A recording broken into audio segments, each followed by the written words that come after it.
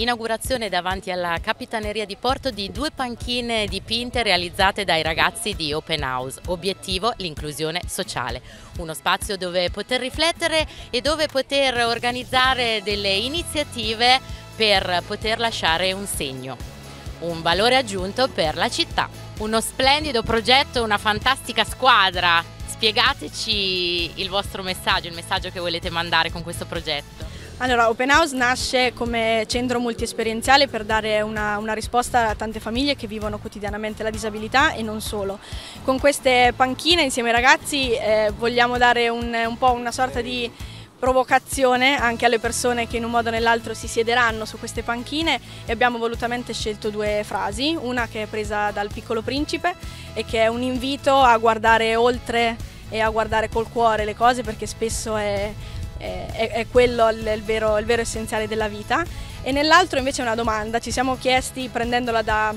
Up, che è un cartone, un cartone, animato, quanti palloncini servono per far decollare un sogno ed è un invito a perseguire un po' quelle che sono le proprie aspirazioni ed è che, quello che cerchiamo di fare quotidianamente con,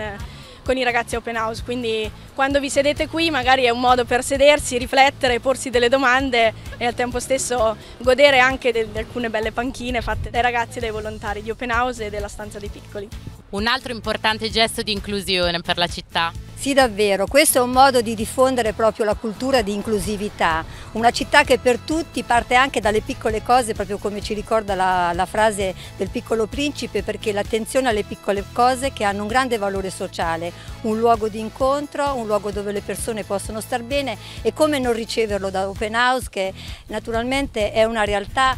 molto virtuosa in questo senso, proprio perché utilizza tutte le risorse educative e le mette a disposizione mette, dà la stessa possibilità a questi ragazzi di interagire su uno spazio pubblico e nello stesso tempo di misurare anche quelle che sono le proprie possibilità. Quindi avanti tutta questo è un luogo che loro potranno utilizzare al meglio nel tempo e con tutte le attività che vorranno svolgere. Open House, una realtà di grande valore che ha realizzato un progetto importante. Sì, Open House è ormai da anni una realtà importante che fa, eh, realizza concreti percorsi di inclusione sociale, eh, momenti appunto e mh, attività che eh, danno la possibilità anche a ragazzi e ragazze con eh, disabilità di poter partecipare attivamente alla vita sociale e anche di poter contribuire, come in questo caso, a riqualificare due eh, panchine che comunque sono simboliche